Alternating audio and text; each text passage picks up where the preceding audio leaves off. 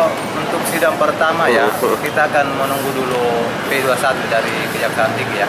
Karena selama ini kan oh, masih proses ya.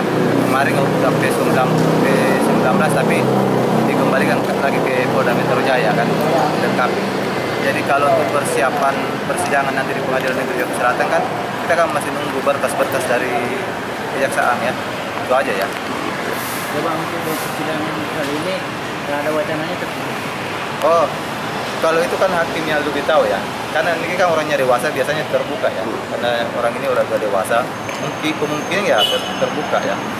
Kemungkinan dari lawyer sendiri, dari abang waktu naik Ke- Apa yang diputuskan oleh hakim kami akan mengikuti ya. Kami akan menghormati. Oke. Cukup. Oke.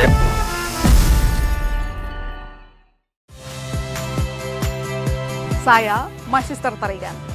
Saksikan program-program Kompas TV melalui siaran digital, pay TV, dan media streaming lainnya.